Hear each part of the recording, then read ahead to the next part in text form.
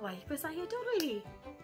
Because from the courts of heaven, when you're there, you see that once, long before you're born, you chose to be a Donnelly. And you laughed at what it would mean. The proud woman put to milking cows. The genius trotting around with the stallion. The old sword rusted into a turnip knife. You laughed. you lay down with your fate like a bride, even the miserable fire of it all. So that I am proud to be a Donnelly.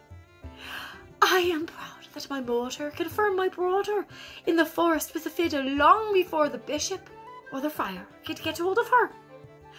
And I wish I would have shared her fate beside her. But oh, would it have been different? I nearly saved her. Three days before they burned her with their cold oil. Because you were told you were different and you weren't afraid. That is why they burned you with their tongues first and then with their kerosene. I had this dream once. It repeats itself to me like a creed I have learned. I do not know when. I have come up to the farm to visit. Only Mater and Falter are there. The boys are all away.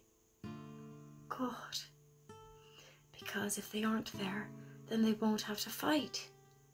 But if they stay, then they have to fight for their country all their life.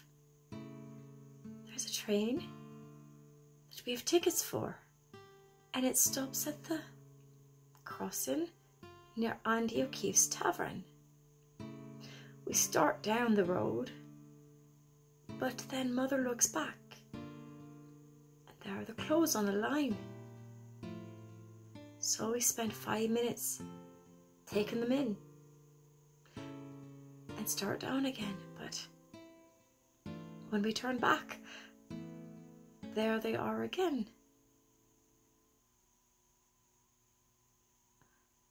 Uh, come, uh, come anyway, Mater.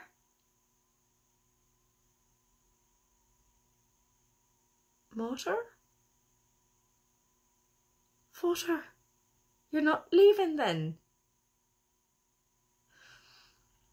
My motor and Falter would never leave Biddulph.